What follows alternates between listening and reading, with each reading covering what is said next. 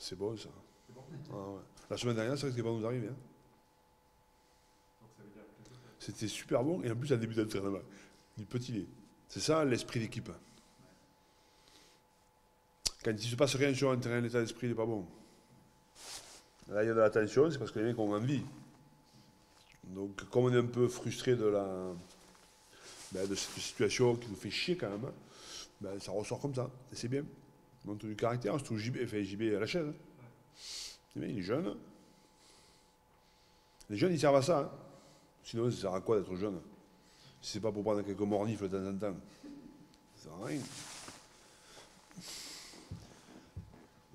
C'est le, c'est le, c'est la formation du joueur, ça. Ouais. Et il a la chance, il est tombé sur JB. Il aurait pu tomber sur Yandré Marais. Là, c'est moins marrant, par contre. hein.